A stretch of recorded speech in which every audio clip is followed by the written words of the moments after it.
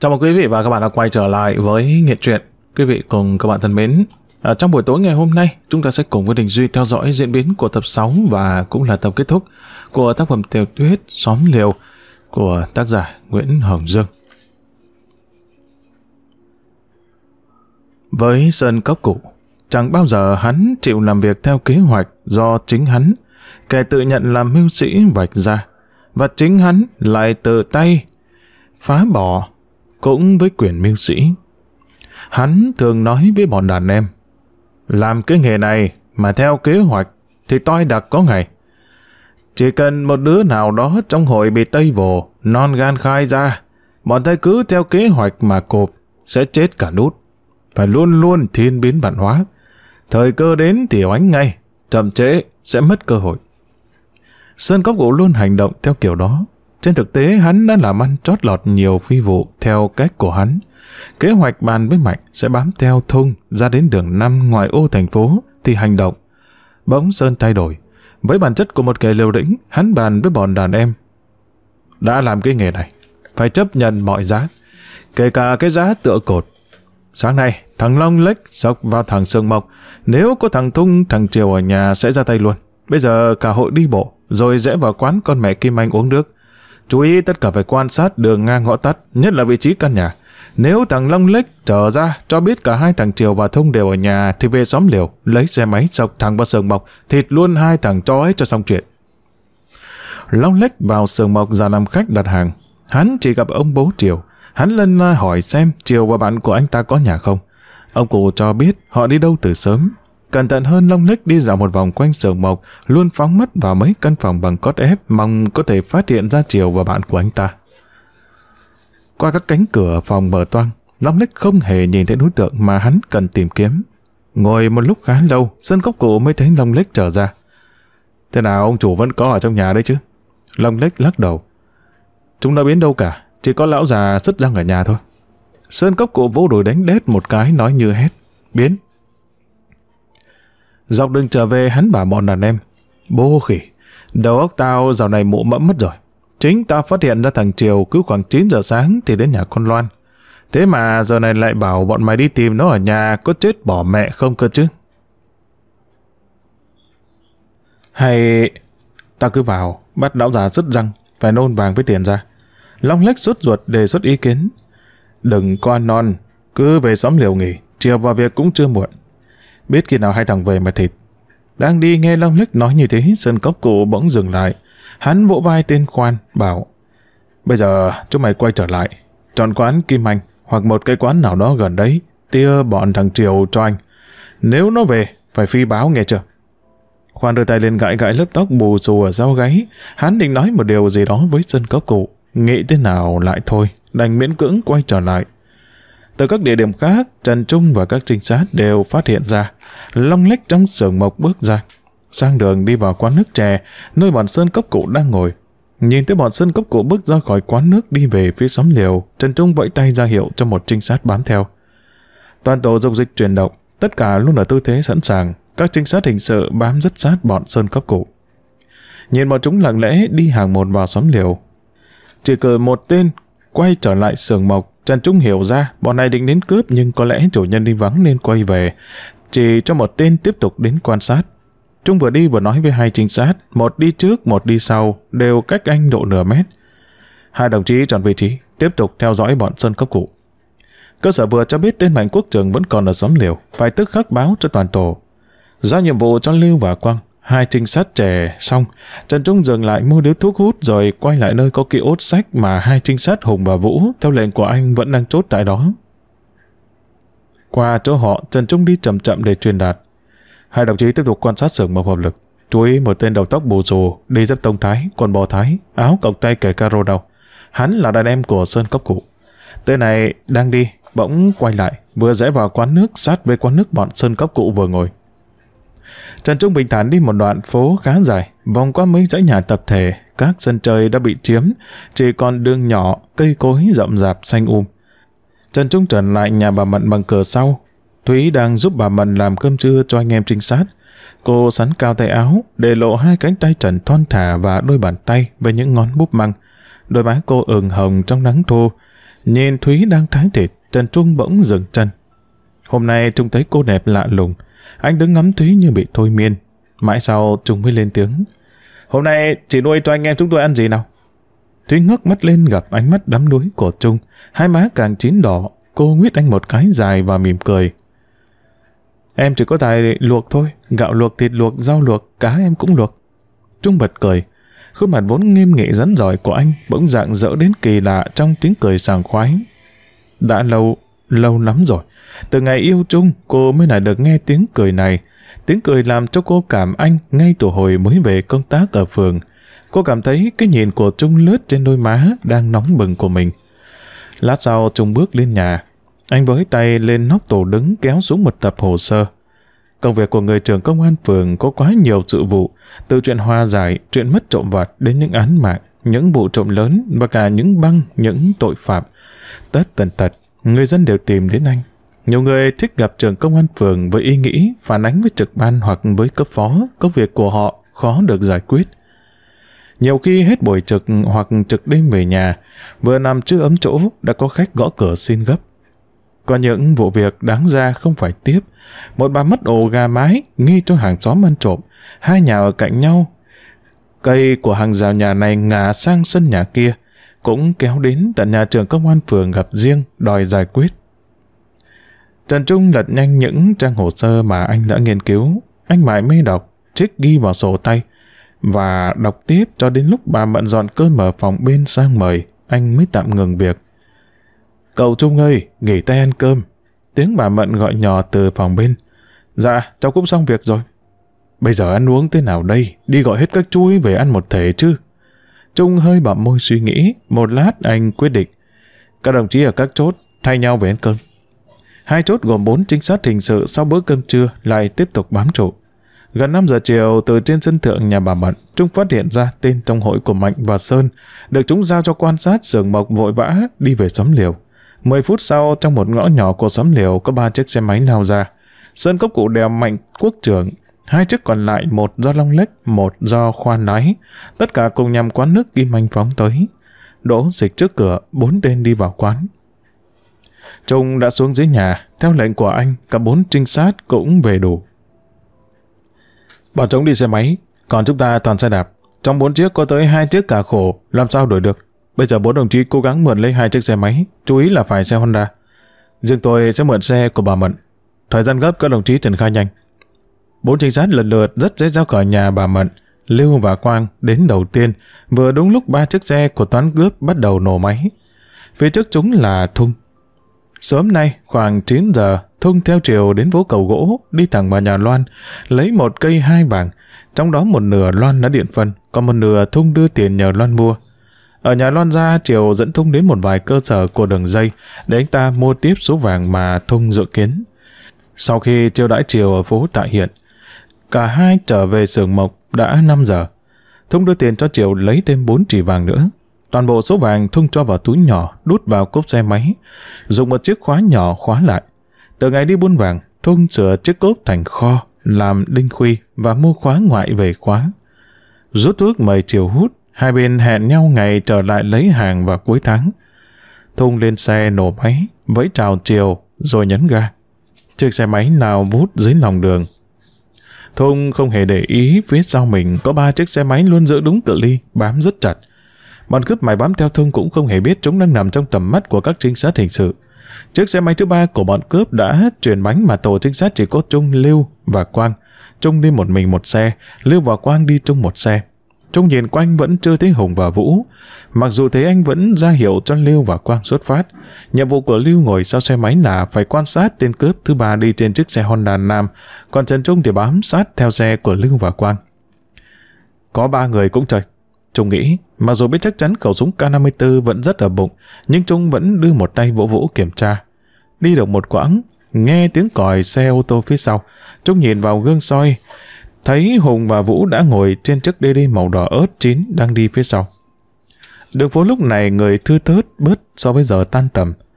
Con đường bên kia cầu Trương Dương phía Gia Lâm được đổ bê tông nhựa, phân mốc chia đường thành hai luồng xuôi ngược. Triệu Thu dịu mắt như kích thích tay lái của Thung. Anh ta tăng ga. Bọn cướp cũng tăng hết ga số, quyết tâm bám theo Thung. cầu chui đã ở trước mặt Thung, đi hết làn đường cao tốc, Thung cho xe chạy chậm lại. Trong khi đó, theo lệnh của Sơn Cấp Cụ, Long Lách vẫn để xe máy ở tốc độ tối đa, vượt lên bỏ xa xe Thung đến hơn cây số. Ở khu vực này, đoạn đường bỗng trở nên vắng vẻ. Ngó trước ngó sau chỉ thấy có một vài người đi xe đạp xuôi ngược, Long Lách cho xe đột ngột dừng lại. Trời trạng vạng, xa xa, những dãy nhà tập thể, các ô cửa đều đã sáng đèn.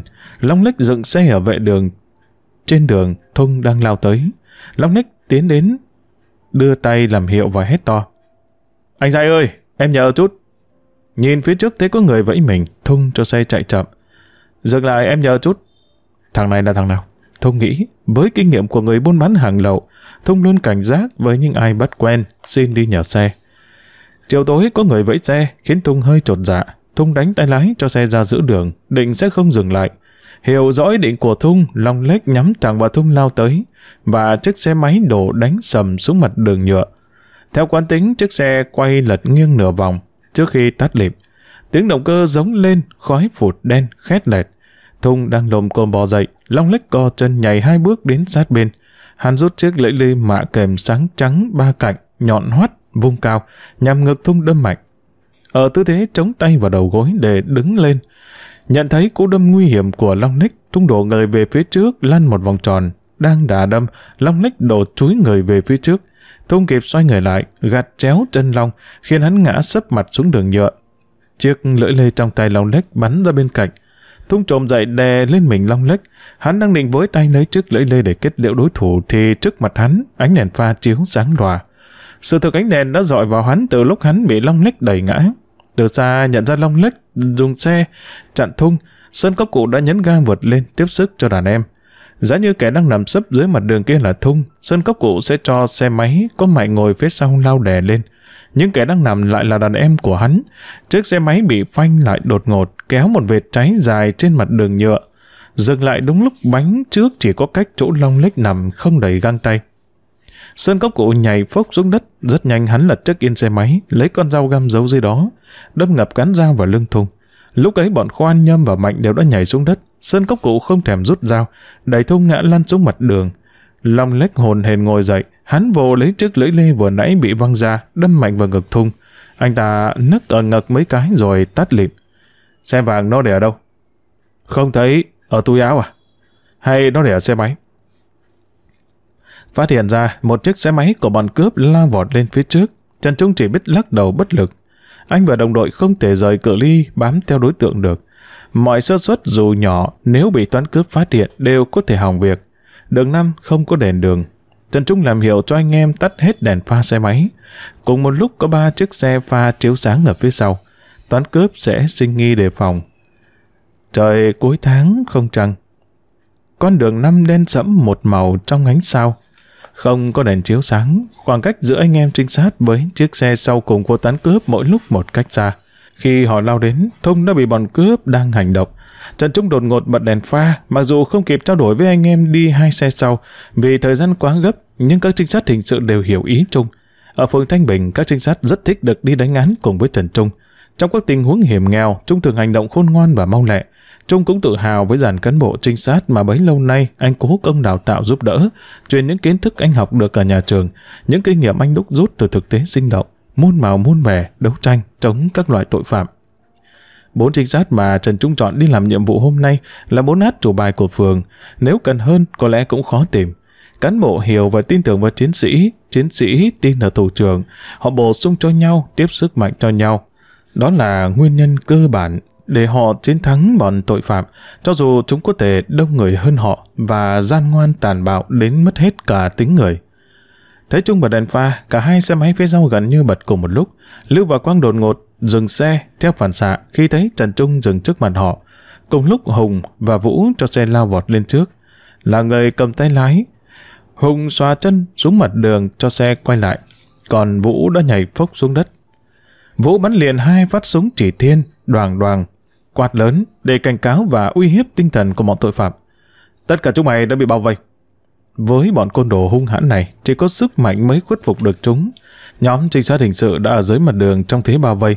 Trước mặt họ là năm tên cướp, tên cầm dao găm, tên cầm lưỡi lê, đều ở tư thế thủ thân. Cuộc chiến đấu giữa các trinh sát hình sự với bọn cướp trở nên tương sức. Mặt đối mặt với bọn tội phạm, trời lại tối. Việc sử dụng vũ khí hết sức nguy hiểm chỉ còn cách dùng vũ thuật quật ngã đối phương. Ý nghĩ thoáng qua trong đầu khiến Trần Trung lao thẳng vào tên cướp đang ở trước mặt anh. Quật ngã hắn sóng xoài trên mặt đường nhựa. Hùng lao đến giúp Trung tra tay tên cướp vào cổng số 8. Bốn tên cướp còn lại, đứa chạy ngược chạy xuôi. Trần Trung, Hùng, Vũ lao đuổi theo. Được khoảng 10 mét, ba anh quật đổ tên cướp thứ hai. Lúc này Trần Trung chợt nhận ra các anh đã dồn lực lượng quá lớn vào một chỗ. Tớ phải quay lại tiếp sức cho Lưu và Quang. Trần Trung vừa nói vừa cắm đầu lao vút về phía sau. Ở đấy Lưu và Quang đang vật lộn với tên Sơn Cấp Cụ và tên Mạnh. Sơn Cấp Cụ được sự giúp của một đàn em tên là Khoan đã quật đổ được Lưu. Đối với Sơn Cấp Cụ lúc này 36 trước, trước chuồn là hơn. Là một kẻ khôn ngoan khi xung trận, Sơn Cấp Cụ thường hò hét bọn đàn em từ chiến, nhưng hắn bao giờ cũng tìm được đường tàu thoát. Lý do đó là nguyên nhân khiến hắn ít khi bị tóm cổ. Và nếu có bị bắt khi ra tòa, tội hắn thường nhẹ hơn. Mạnh ơi, lên xe bao! Mạnh bị sái một bên tay đau điếng, nghe Sơn Cốc Cụ gọi, cố chạy gấp. Sơn Cốc Cụ nổ máy, thấy kề nhảy lên ôm lấy lưng mình là Khoan. Không phải Mạnh, Sơn Cốc Cụ quay lại đấm Mạnh vào mắt Khoan. Cùng lúc Mạnh lao tới túm cổ áo Khoan kéo tuột hắn xuống đường. Mạnh nhấn ga, chiếc xe từ từ chuyển bánh lao vọt về phía trước. Có xe đuổi theo. Ngồi ở đằng sau Mạnh phát hiện ra một chiếc xe máy đuổi theo. Tuy đêm tối không nhìn rõ mặt người, nhưng Mạnh biết chắc chắn hắn đang bị xe của công an truy đuổi. Mày có đem theo lựu đạn không? Mạnh hỏi Sơn. Sơn nói nhanh. Ta buộc ở thắt lưng. Lấy nhanh ra, tung vào chiếc xe máy đang đuổi. Mạnh lần thắt lưng Sơn cốc cụ lôi ra một quả lựu đạn US. Chiếc xe truy đuổi đang tiến lại rất gần. Mạnh và Sơn cấp cụ nghe rõ tiếng quát. Đứng lại, không ta bắn. Kèm theo tiếng nổ, Mạnh thấy nhói ở bà vai phải phía cánh tay hắn đang cầm quả liều đạn US. Người phi xe máy đuổi theo Sơn Cốc Cụ và Mạnh là Trần Trung. Nhìn thấy anh tiến lại gần, Sơn Cốc Cụ bỏ chạy. Lưu bị bọn cướp đánh vào gáy, nằm ngất lịm. Lúc này chỉ còn Trần Trung và Quang. Trung lệnh cho Quang. Cậu đi một xe. Tớ đi một xe, đuổi theo, mau lên. Trung và Quang cùng tiến là hai chiếc xe dựng ở bên đường. Trong khi Trung rổ máy lao lên, Quang vẫn đang đạp cho máy nổ. Đạp đến chục lần, chiếc xe vẫn ì ra như cục sắt. Quang đành phải nhảy xuống đất vừa chạy vừa đẩy một đoạn dài chiếc xe mới phát ra những tiếng bành bạch. Trung tăng tốc và quyết định một mình cũng đuổi kịp xe của bọn cướp. Anh rút súng nhắm vào tên ngồi sau bóp cò. Mãi đuổi theo bọn cướp, Trung không hề biết tên Mạnh bị thương ở bà vai. Theo phản xạ, đã thả quả lưu đạn mò Việt US định ném về phía sau. Xe anh vừa lao đến nơi, quả lựu đạn bùng nổ. Qua ánh lửa sáng lóa, đồng đội của Trung, nhất là Lưu ở phía sau, nhìn thấy chiếc xe của Trung bị hất đổ xuống đường. Theo thường lệ, buổi chiều ta phải mang trả số vé sổ số không bán hết. Trong ngày, sau đó lại nhận vé bán của ngày hôm sau. Tào dừng ở trong phòng nhận vé bước ra lúc thành phố lên đèn. Tào, Tào ơi! Nghe có tiếng gọi mình, Tào dùng mình đứng lại. Không rõ ai ở đây quen biết mình mà gọi nhỉ. Đây cơ mà. Ôi, cô Bảy. Tào dừng thốt lên. Cô cũng đi bán vé sổ số ư? Không, cô chỉ muốn gặp cháu. Có việc gì thế cô? Bảy lúng túng trước câu hỏi của Tào, mặc dù cô đã chuẩn bị kỹ những câu hỏi có thể phải trả lời. Cô, cô có việc phải nhờ cháu, nhưng cháu phải về nhà cô, cô mới nói, chứ ở đây, ở đây bất tiện lắm. Việc quan trọng thế cơ à? Quan trọng chứ. Nhìn thằng Tào rừng vui, bày cũng vui lên. Nhưng còn mẹ cháu ở nhà, cháu phải về nấu cơm cho mẹ cháu. Bà nãy cô đã nói với mẹ cháu, mua cho mẹ cháu tô phở rồi. Bây giờ cháu vào nơi gửi xe, lấy xe, rồi cô cháu ta cùng về. Ban đầu, thằng Tào Dừng chỉ gợi cho bài nói nỗi nhớ đứa con vứt ở bệnh viện vì tuổi thằng Tào cũng cùng tuổi với đứa con của cô. Về sau, phát hiện ra vết chạm dưới trái tay phải của thằng Tào Dừng, bài sinh nghi. Từ hôm đó ngày nào bài cũng dò hỏi tung tích nó. Bài còn mạnh bạo hỏi luôn bà Sửu, người bấy lâu vẫn nhận sinh ra thằng Tào Rừng. Ban đầu, bà Sửu đánh trống làng trả lời bâng quơ, nhưng nhìn gương mặt bày, nghe giọng nói, nhất là biết rõ bày không thể sinh nở được, thì bà Sửu bảo, phải đi xin lấy một đứa con mà nuôi. Nào em có quen biết ai ở bệnh viện mà xin? Bày làm bộ buồn giàu, để hôm nào tôi vào viện xem, cái con mẹ bác sĩ tôi quen, nó có còn ở đấy không? Chính thằng Tảo là con mẹ ấy nó xin cho tôi đấy chứ. Rồi mình trả cho người ta ít tiền. Bác xin thằng Tảo lâu chưa? Nó bằng nào ngày tuổi thì tôi nuôi nó bằng ấy năm. Cái con đĩ chết tiệt nào đó chắc ăn chơi trác táng có thai vào bệnh viện xê đẻ. Đẻ xong nó tách luôn tôi mà. Từ bấy đến nay cô ta có đến tìm gặp thằng Tào không bác? Cái loại đã vứt con đi. Cô bảo nó còn gì tình cảm nữa đâu mà đi tìm con với trả tìm cái. Những điều bà xỉu tuần tuột nói ra tựa như những nhát dao cứa vào tâm can của bầy. Cô muốn gào lên, bà có im đi không? Tôi là mẹ đẻ của thằng Tào đây. Tôi không phải là con đĩ, tôi cũng không phải là kẻ táng tận lương tâm mất hết lòng mẫu tử. Ngày ấy tôi chỉ nghĩ quá nông cạn, tôi muốn giấu biệt nỗi tuổi hồ của tôi, tôi mong làm lại cuộc đời, vì tôi mới ngoài 20 tuổi. Nhưng chỉ ít lâu sau, tình mẫu tử đã đưa chân tôi tới bệnh viện, mong tìm lại đứa con mà tôi nứt ruột đẻ ra. Từ ngày ấy, tôi luôn luôn nghĩ về nó, mong đến trái lòng muốn gặp được nó. Cố nén cơn giận dữ và nỗi tủi hổ, hai tay bảy bỗng run run, và bà xỉu cứ ngỡ cô tủi phận. Bà an ủi, khóc làm quái gì cho nó già người. Tuổi cô còn trẻ, còn sức, nếu thấy chưa chạy không được, thì đi mà xin con nuôi.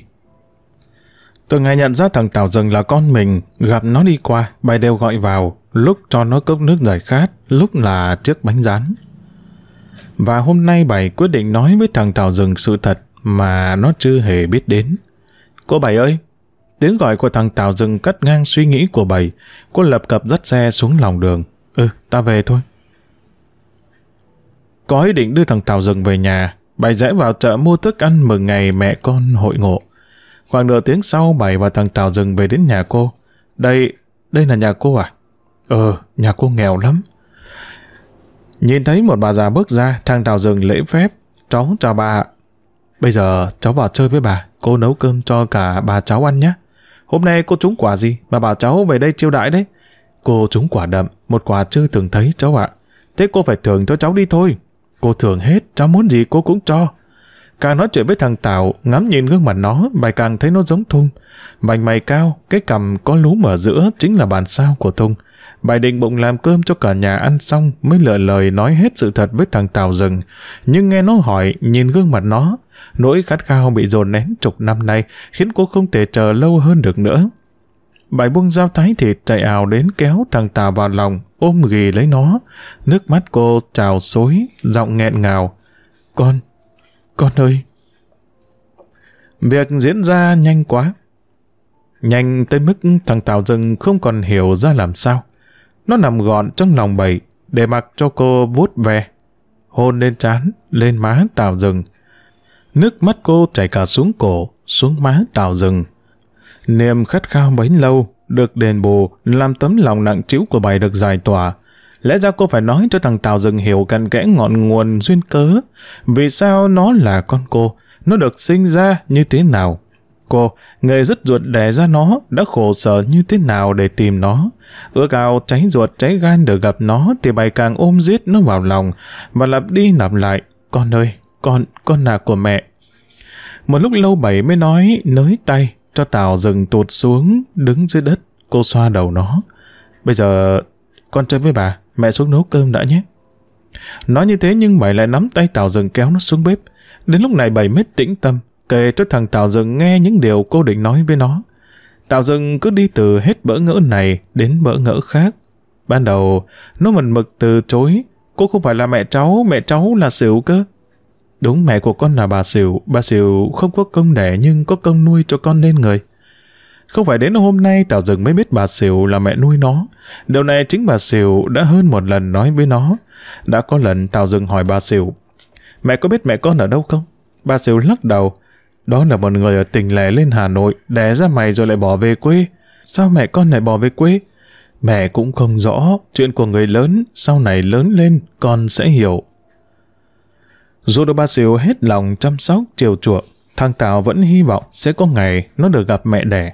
Lần đầu tiên nghe bọn trẻ con trêu, ôi ê Tào rừng, Tào hoang chúng mày ơi, và cười ré lên, nó vỡ bất cứ thứ gì ở trước mặt, ném trà lũ trẻ rồi òa khóc tức tuổi nhưng nghe trêu mãi nó lì ra. Chỉ có trong thẳm sâu lòng nó, niềm khát khao cháy bỏng gặp mẹ có dịp lại bùng lên. Nó sẽ kể cho mẹ đẻ nghe những tháng ngày qua, nó sống lang thang vất vưởng như thế nào. Nó sẽ đưa mẹ đẻ về xóm liều để lũ trẻ không gọi nó là tào hoang nữa. Vậy mà được gặp mẹ, nó lại ngỡ ngàng. Bị ảnh hưởng bởi lời nói của bà xỉu, nó hình dung ra mẹ nó là người nhà quê, tóc kẹp dài sau lưng, đầu đội nón lá, nước da đen đùi, nhưng nó vẫn gặp những người nhà quê ở các bến tàu xe. Hôm nay, người nhận nó là con đẻ lại là bảy, người thành phố, tóc phi dê, mắt tô xanh, môi son đỏ. Nhưng tình cảm ruột già có những tín hiệu riêng để tạo dừng xóa hết những mặc cảm, chỉ còn lại một tình thương máu thịt. Nó sung sướng nhảy chân sáo trong khoảnh sân nhỏ hẹp. Mình có mẹ thật rồi. Mà dù vậy, sau bữa cơm, thằng Tào Rừng vẫn cất giọng buồn buồn. Con... Nó bắt đầu xưng con với bảy. Phải về với mẹ xỉu con, không được để mẹ xỉu ngủ một mình trong đêm. Xóm liều bây giờ phức tạp lắm. Bảy kéo thằng Tào vào lòng. Con ở lại với bà, với mẹ một lúc rồi hãy về. Bà mẹ chồng của Bảy lắng nghe hết câu chuyện của Bảy. Mãi sau, bà mới đưa bàn tay già nua, chỉ còn làn da đồi mồi nhăn nheo đặt lên đầu thằng Tào rừng. Cháu sẽ là cháu của bà. Lạy trời Phật, nhờ ơn trời Phật mà mẹ con chúng mày gặp được nhau. Ở tuổi bà, từ lâu bà mong có được đứa cháu bế bồng, và cũng là cái nhành, cái nhánh tiếp nối nòi giống dòng họ nhà chồng, nhưng thằng Mạnh mặc bà dục vẫn không chịu lấy vợ. Rồi Mạnh bị bắt bỏ tù, ra tù lấy vợ được ít lâu lại vào tù. Niềm mơ ước tài lộc cho hậu thế của bà bị tắt ngấm. Được chứng kiến người con dâu Thảo Hiền, bấy lâu bà coi như con đẻ, gặp lại con mình, bà thấy không khỏi vui mừng, mặc dù đứa trẻ đó không phải là con thằng Mạnh nhà bà. Bà tự lý luật với mình, nó không phải là con thằng Mạnh, nhưng nó là đứa con của vợ thằng Mạnh, vậy là thằng Mạnh cũng đã có con. Mẹ con, bà cháu Tào Rừng còn đang vui chuyện thì có tiếng xe máy từ ngoài ngõ chạy vào, đỗ xịch trước sân nhà. Nhà mình có khách mẹ bày ạ. Bố Mạnh con về đấy. Bày đoán đúng, người đang ở ngoài sân là Mạnh. Mạnh được Sơn Cốc Cụ trở về nhà bằng xe máy. Bị Trần Trung bắn vào bả vai, Mạnh và Sơn Cốc Cụ vẫn lao xe về trước. Cách quả lưu đàn độ 10 mét, Mạnh nghe một tiếng nổ chát chúa. Theo phản xạ, cả sơn cốc cụ và Mạnh đều cúi dạp người xuống, mạnh đạn bay vèo vèo qua đầu chúng, rơi bùm bũm xuống mương nước. Chắc thằng cha đuổi theo bọn ta bị toi rồi. Quá tầm nguy hiểm của đạn nổ, Mạnh ngồi dậy nhìn về phía sau. Sơn cốc cụ cũng ngồi thẳng người, bẻ tay lái. Về đâu bây giờ? Mạnh hỏi Sơn cốc cụ. Phải về nơi khác thôi, không được về xóm liều nữa. Mẹ, lúc qua cầu chui, qua kính soi hậu, nhìn thấy ba chiếc xe máy bám sau, luôn giữ tốc độ và khoảng cách. Tao đã suy nghi. Bọn thằng Long Lách chắc là bị chúng nó vồ rồi.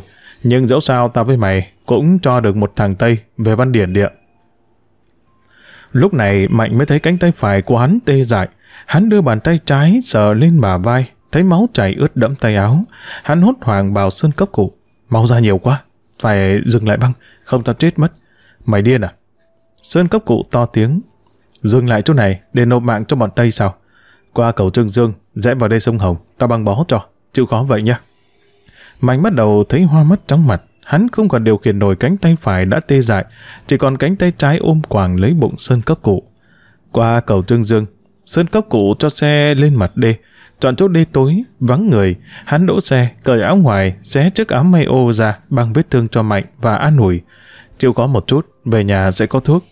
Sơn cấp cụ lại dồ máy cho xe lao xuống đường Trần Nhật Duật. Mày cho tao về nhà thôi, Sơn ạ. À. Ừ, về nhà mày được đấy. Tưởng chồng về nhà chơi, lại đang vui vì gặp được con.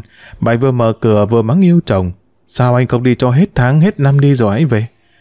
Qua ánh sáng điện, đang đi, bà đứng sững lại, đưa hai tay, ôm chặt lấy đầu, giết lên kinh sợ.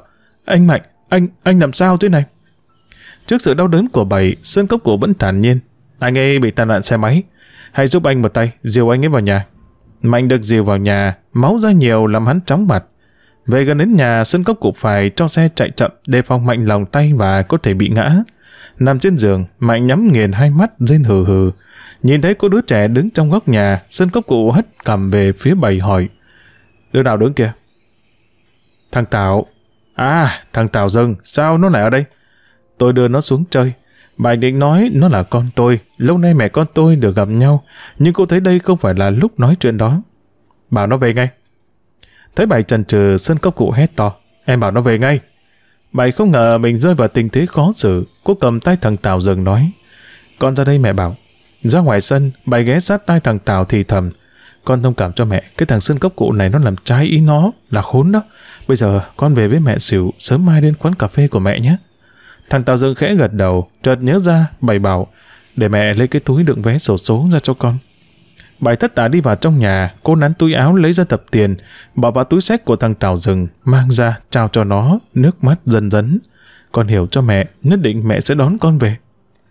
Tào Rừng đón chiếc túi sách từ tay bảy, cất giọng nhỏ nhẹ, con xin, rồi nhảy lên chiếc xe cổ loa mini. Bảy vẫn đứng lặng ở sân nhìn theo thằng Tào cho đến khi dáng hình nhỏ bé của nó khuất khỏi ngõ hẻm.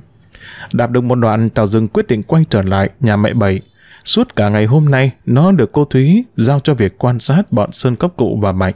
Tuy cô Thúy không nói ra, nhưng trong trí óc của nó, phỏng đoán các cô chú công an đang theo dõi bọn này có thể là sẽ tóm cổ chúng. Tình cờ gặp Sơn Cốc Cụ đưa Mạnh về nhà, và vai bị thương Tào sinh nghi. Nó đã nấp vào một góc nhà, nhưng Sơn Cốc Cụ vẫn nhận ra và đuổi nó về. Rõ ràng phải có việc gì mờ ám, Sơn Cốc Cụ mới đuổi nó về ngay lập tức như vậy. Tào Dừng không vào sân nhà mẹ bảy, nó vòng ra sau nhà, vứt chiếc xe ở đó, lèn ra phía trước, áp tai vào khe cửa, nghe rõ cuộc đối thoại bên trong. Mẹ bảy của nó vừa khóc vừa sụt xịt hỏi, đây, đây là vết bị người ta bắn, chứ có phải tai nạn xe đâu. Khẽ khẽ cái mồm thôi, bây giờ thế này nhá, em đi mua thuốc kháng trinh, bông băng về, băng lại vết thương cho anh Mạnh. Trước khi băng, dùng nước lã đun sôi để nguội pha muối rửa vết thương kẻ bị nhiễm trùng. Khoảng trưa mai, anh cho người đến đón anh Mạnh em. Anh không được đưa anh ấy đi đâu cả. Đã bảo khe khẽ cái mồm thôi. Còn việc em có đồng ý cho anh Mạnh em đi hay không thì tùy. Chỉ có điều nói để em biết, anh Mạnh vừa tham gia vào một phi vụ đặc biệt nguy hiểm. Nếu anh Mạnh em ở nhà, sớm muộn cũng sẽ bị Tây tóm cổ. Lần này không phải ở tù đâu, mà có thể nặng hơn cơ đấy. Anh, anh là thằng khốn nạn, anh đưa chồng tôi đến chỗ chết, còn anh vẫn nhợn nhơ. Không nhìn được nhưng tay Tào dừng, biết chắc chắn mẹ bày đó vừa giơ thẳng tay tát mạnh vào mặt Sơn cấp cụ. Trong nhà im lặng một lúc, sau đó tiếng Sơn cốc cụ rít qua kẽ răng. Tùy cô, 12 giờ trưa mai sẽ có người đến đón chồng cô. Nhớ mà chăm sóc chồng cô cho chú đáo đấy, nghe chưa? Có tiếng rút chốt cửa, thằng Sơn cốc cụ ra đấy. Tào dừng nghĩ và lèn nhanh ra sau nhà. Đợi cho Sơn cốc cụ phóng xe đi được một lúc, Tào dừng mới dắt xe ra ngoài ngõ. Thế là rõ, bọn sơn cốc cụ đang lẩn trốn sự truy đuổi của các cô chú công an, cần phải báo ngay cho cô Thúy biết tin này. Tào rừng hơi khom khom lưng, guông mạnh hai chân, trông nó giống như một người đang đua xe đạp. Dọc đường, chiếc xe đạp cổ loa mini của thằng Tào rừng tuột xích dễ đến trục bận. Hai tay nó đầy dầu mỡ, mồ hôi trên trán chảy xuống mắt Tào cây xè. Không còn cách nào khác, nó đưa bàn tay lấm lem dầu mỡ lên lau mặt, làm cho nó như tựa dưới đống than moi lên. Tào dâng không dễ vào xóm liều mặc dù nó biết giờ này mẹ xỉu đang ngắm đợi. Mà đạp xe đi tìm Thúy. Nhà đầu tiên Tào đến là nhà ông Hải, bà Mận. Nó cất giọng hồn hền hỏi bà Mận. Bà ơi, bà có biết cô Thúy hiện giờ ở đâu không? Nhìn gương mặt Tào lem luốc, toàn thân thấm đẫm mồ hôi. Bà Mận thương cảm. Cháu vào đây, bà pha cho cốc nước uống đã nào. Cháu cảm ơn bà, cháu muốn tìm ngay cô Thúy bây giờ. Cô Thúy về trụ sở công an phường từ chiều tối. Cháu đến trụ sở công an phường tìm cô ấy vậy. Tào dừng lại nhảy lên chiếc xe đạp cũ dích guồng gấp. Gần đến trụ sở công an phường, nó nhìn thấy trong sân lối nhố vài ba chú cảnh sát đi lại và hai chiếc xe ỏ e chuyên dụng của cảnh sát. Vào sân, Tào dừng nhảy xuống xe rất bộ. Nó dựng xe ở ngoài hành lang, rụt rè bước vào trong phòng thường trực. Có việc gì thế cháu? Người sĩ quan trực chỉ huy nhìn thấy Tào dừng đi vào liền cất tiếng hỏi. Thưa chú, cháu cần gặp cô Thúy, công an đường phố, cụm dân cư số 4. Cháu gặp vì công việc hay vì việc riêng? Dạ việc chung. Thằng Tào dừng ấp úng. Cháu có một tin quan trọng muốn báo cho cô Thúy. Cô Thúy hiện tại không có ở nhà. Nếu là việc quan trọng, cháu có thể nói với chú. Chú tên là Lê Bá Trí, phó công an phường. Nào, cháu ngồi xuống ghế uống nước đi. Tào dừng ngồi phịch xuống ghế, thở dốc. Thái độ đón tiếp ân cần của Trí làm nó không còn cảm giác bị gọi lên trụ sở công an làm kiểm điểm. Nó chỉ biết cúi gằm mặt xuống đất. Lần này nó bước vào trụ sở công an phường trong tư thế ngẩng cao đầu. Nó đến với tư cách công dân tham gia vào việc giữ gìn an ninh trật tự xã hội. Thời gian vừa qua thật có ý nghĩa lớn đối với thằng Tào Rừng nếu như không theo mẹ về xóm liều, nếu như không gặp được cô Thúy, nếu như bị bắt đi trường phổ thông công nông nghiệp, thì cuộc đời của nó sẽ đi theo một hướng khác và chỉ biết cúi gằm mặt ngay từ khi tuổi bé thơ. Tuổi của ước mơ, của học hành. Giờ đây Tào Rừng được mọi người yêu mến, đầu óc nó luôn cắt gọn ghẽ, quần áo lành lặn thơm tho, không còn hôi nhách như người rừng. Cái tên Tào Rừng không làm cho nó ngượng ngùng xấu hổ với mặc cảm của đứa trẻ bị cuộc đời hát hủi nữa. Ngược lại nó hãnh diện mỗi khi bạn bè trêu chọc. Ồ, người rừng được cải tạo thành người Hà Nội chúng mày ơi! Thượng úy, phó trưởng công an phường Lê Bá Trí sang phòng bên, lấy cho thằng Tào Rừng cốc nước lạnh. Đón cốc nước lạnh trên tay anh, Tào Rừng tu liền một hơi, đưa ống tay áo quệt ngang miệng. Nó bắt đầu kể cho Lê Bá Trí nghe toàn bộ sự việc nó được chứng kiến ở nhà mẹ bảy nó. Lê Bá Trí đưa sổ tay ra ghi chép, Tào Dương nói xong, Trí đi đến vỗ vai nó nhỏ nhẹ. Thay mặt ban chỉ huy, chú cảm ơn cháu đã cung cấp cho các chú những nguồn tin có giá trị. Các chú chỉ yêu cầu cháu giữ thật kín chuyện, không được nói cho ai biết nha. Chú yên tâm, cháu sẽ giữ kín. Tào Dương đứng dậy. Cháu xin phép chú, cháu về. Lê Bá Trí tiễn Tào Dương một đoạn dài, thân mật vỗ vai nói. Cháu về nha. Khi nào có tình hình gì mới, cháu nhớ báo cho các chú. Tào Dương dạ và nhảy lên xe đạp gấp. Chiếc xe mini cả khổ bỗng như lướt trên mặt đường. Đối với nó hôm nay là một ngày đầy ghi nhớ. Tào Dương sẽ kể cho mẹ xỉu nghe nó được gặp người mẹ đẻ ra mình. Thế là từ nay nó có tới ba người mẹ. Mẹ bảy đẻ ra nó, mẹ xỉu nuôi dưỡng nó, cô Thúy. Đáng gọi là mẹ lắm chứ. Đã tái sinh lại cuộc sống trẻ thơ tưởng như đã bị trôn bụi trong gió bụi cuộc đời của nó. Khi Trần Trung và bốn trinh sát hình sự lên đường truy đuổi bọn cướp, Thúy linh tính thấy sự chẳng lành đến với các anh, nhưng cô gạt đi. Mình chỉ nghĩ những chuyện vớ vẩn, chẳng qua mình nghĩ đến anh ấy đây mà. Từ sau bận đi chơi với Trần Trung ở Hồ Hà Le đến giờ, Trần Trung có vẻ như co về thế thủ.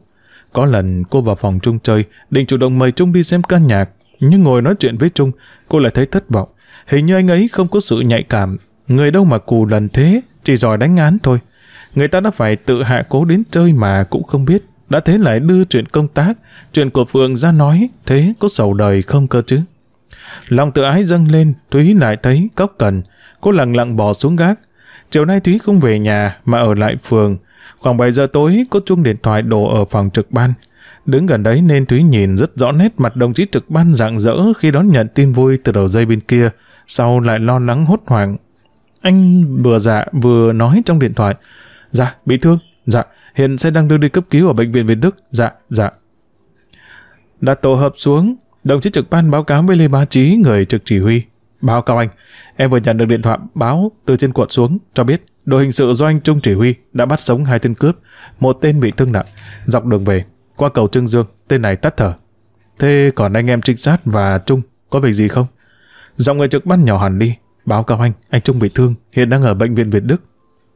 Chí còn đang định hỏi thêm đồng chí trực ban điều gì đó. Nghe có tiếng xe con đi vào trong sân, anh vội vã bước ra.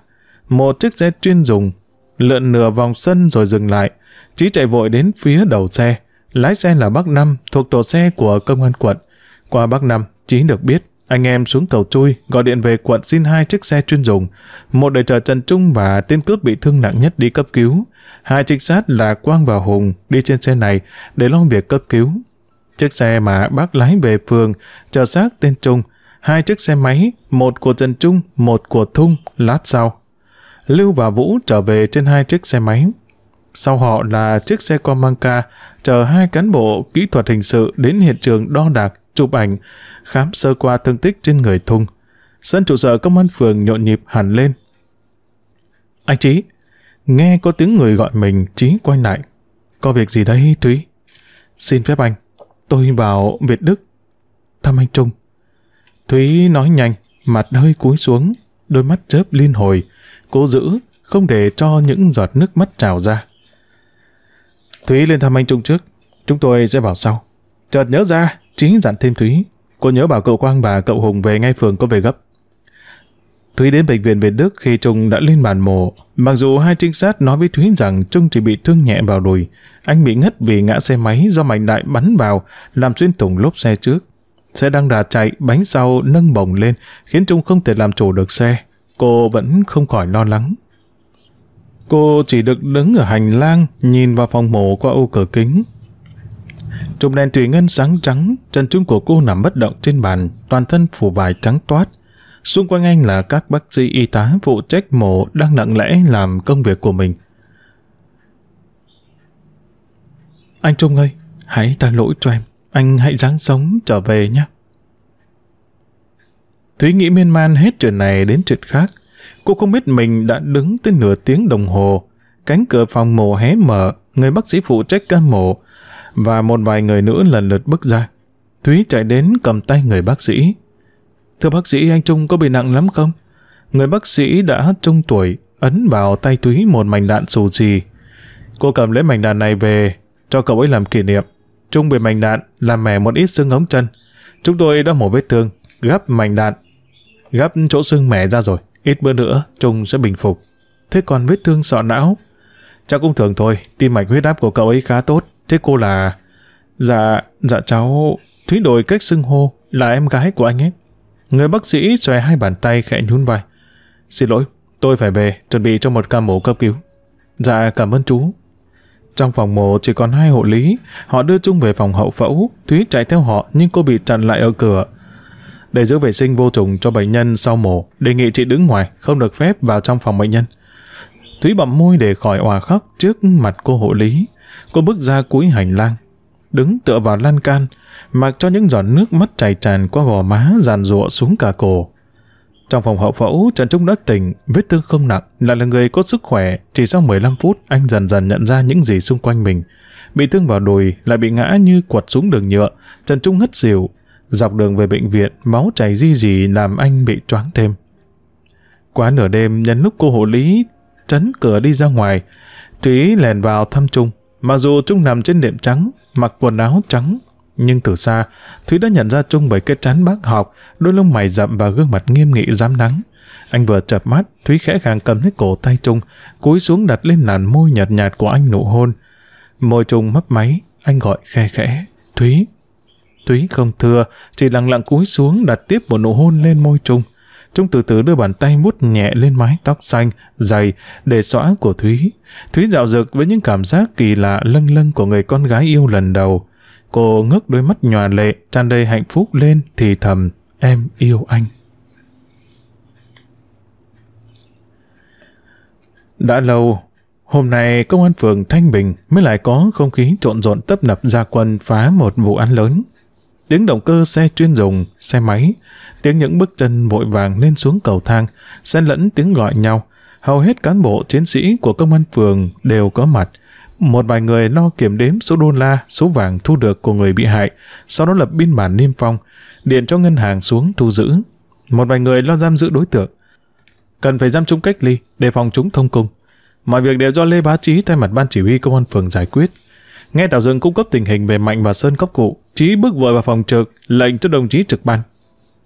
Đồng chí Sơn, đi gọi anh em trinh sát hình sự và 6 đồng chí cảnh sát phụ trách đường phố lại hội trường, nhận nhiệm vụ ngay nhé. Báo cáo rõ. Chí vội bước lên tầng trên, đi lại bàn làm việc, gọi điện thoại. Đầu dây kia máy báo bật, tiếng tút tút đều đều làm anh sốt ruột. Chờ một chút, anh gọi tiếp.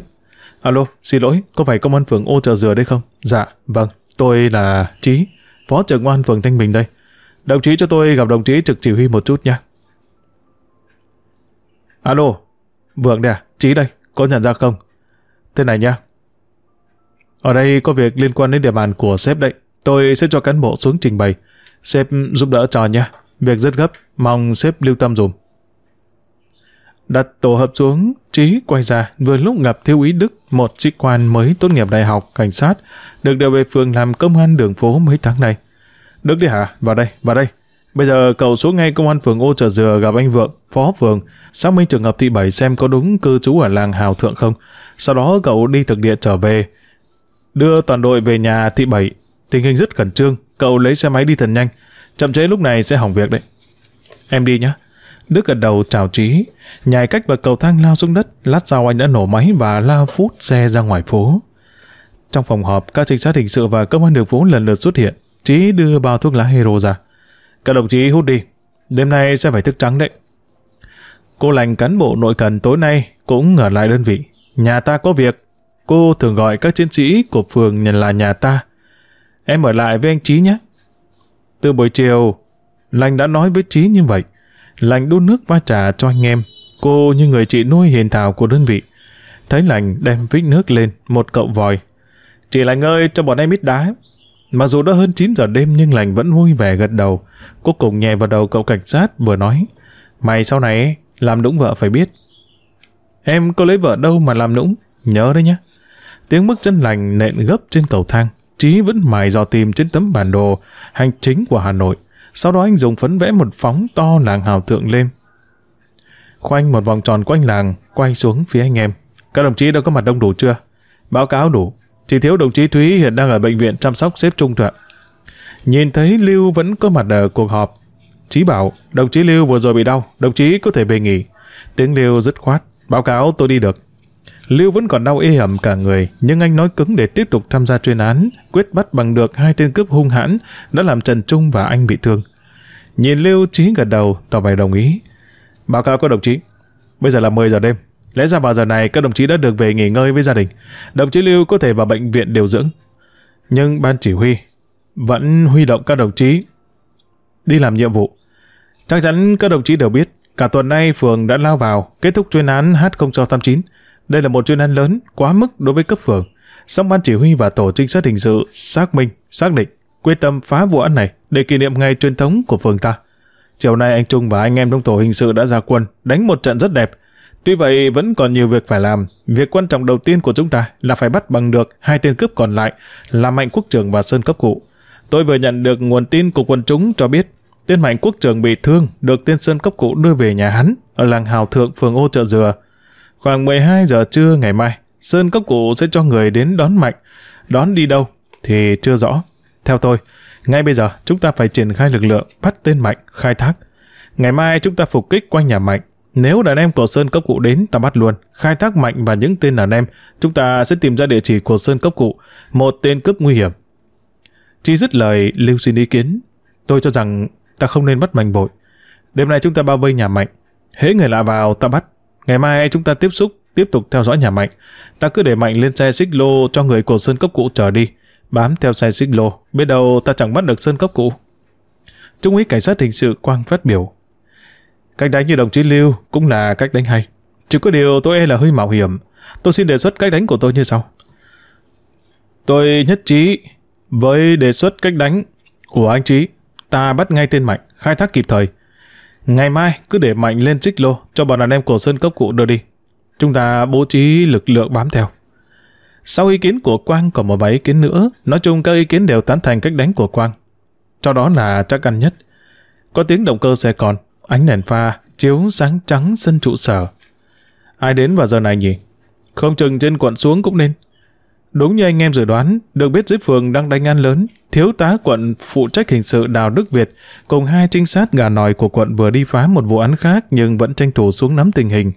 Thiếu tá Việt lần lượt bắt tay mọi người, từ ngày được vào lực lượng công an đến giờ, trừ thời gian đi học ra, Việt đều công tác ở quận này, anh tụ vào số cán bộ trẻ trưởng thành từ người chiến sĩ có năng lực sông sáo. Mình vừa đi Việt Trì về, anh nói, được đồng chí Trinh quận trưởng cho biết, các cậu vừa vô được mấy tên cướp. Tuy còn mệt nhưng mà cũng cố gắng xuống xem kết quả đến đâu rồi. Chí báo cáo lại toàn bộ sự việc và nội dung cuộc họp vừa rồi. Thiếu tá Việt gật đầu đồng ý vì phương án anh em vừa bàn. Đức được cử đi vừa ngô chợ dừa xác minh trở về đúng lúc mọi người đang chờ đợi. Không kịp uống chén nước, anh nói luôn. Bà cáo thủ trưởng và các đồng chí, theo lệnh của anh Trí tôi đã đi xác minh được gia đình chị Bảy.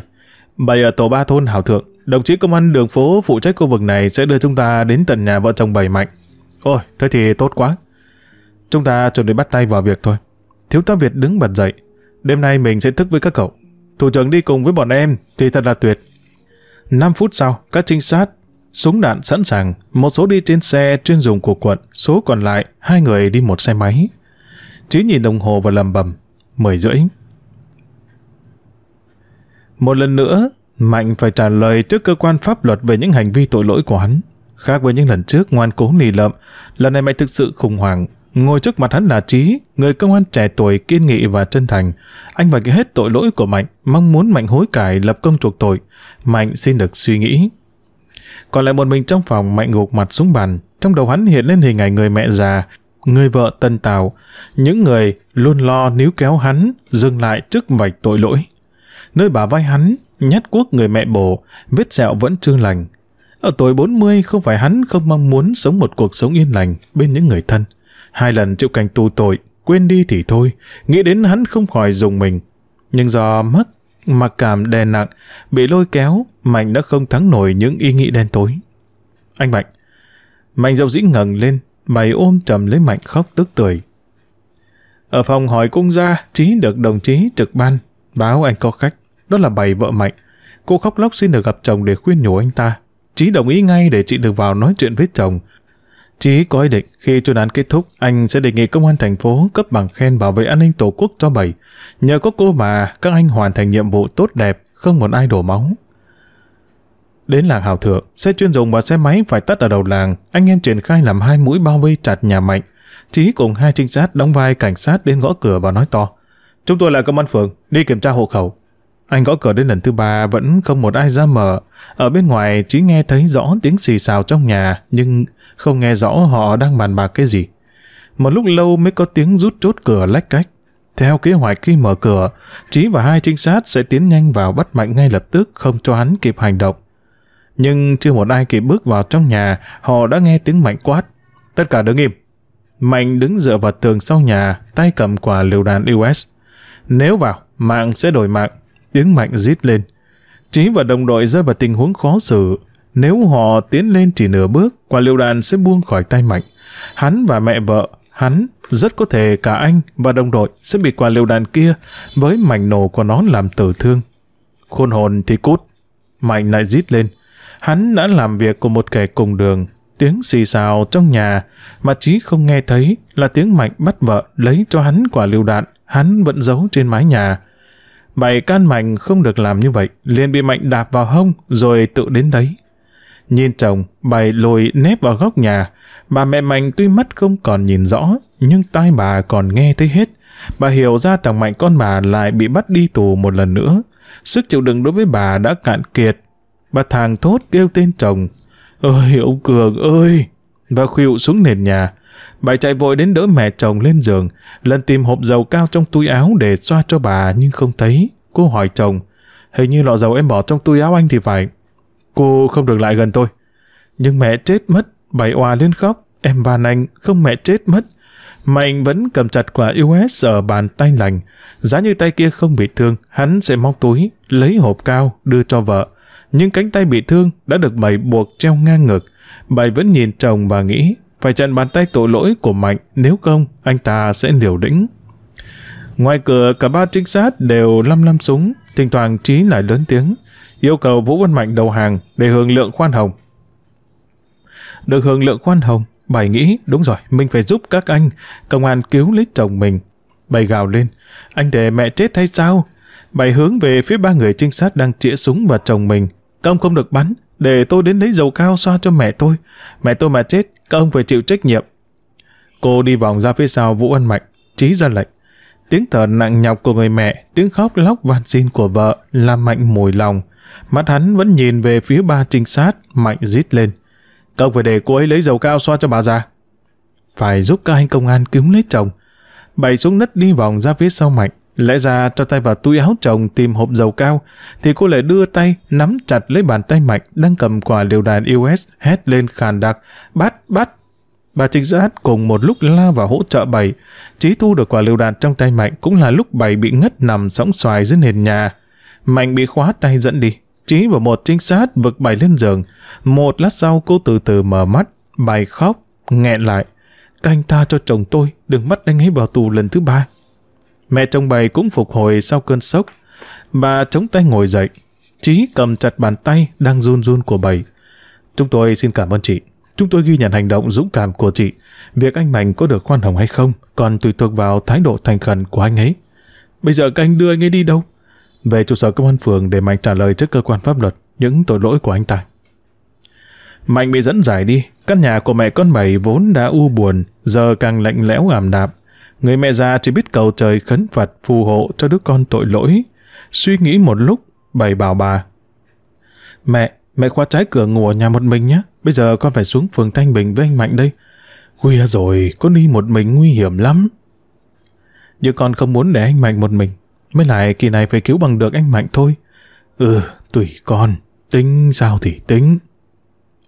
Bà mẹ nói thế chứ bà có hiểu con dâu cứu chồng nó bằng cách nào đâu. Chỉ có bảy là biết mình phải làm gì. Đến trụ sở công an phường cô xin được vào gặp Mạnh.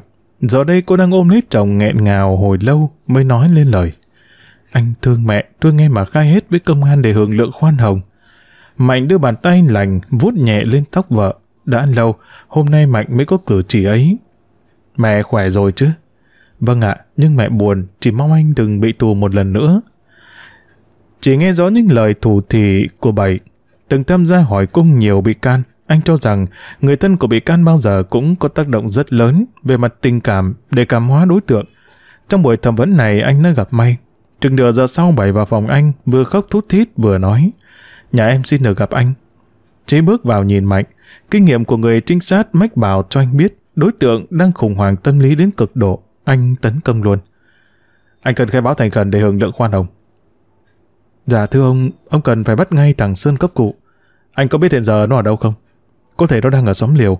Thằng này có cái lạ, mỗi khi gặp nguy hiểm thoát nạn, nó thường chơi điếm. Vừa rồi nó thoát nạn, nên chắc về xóm liều chơi với điếm vọng. Nếu Sơn cấp cụ đi nơi khác thì sao? Thưa ông, cái đó em không dám quả quyết. Nhưng theo em thì Sơn cấp cụ sẽ về xóm liều. Em xin công cho em đi cùng đập công chuộc tội. Ông cứ để cho vợ chồng em gõ cửa vào nhà. Công đừng lên tiếng vội. Khi Sơn mở cửa, em vào trước, các ông sẽ vào sau.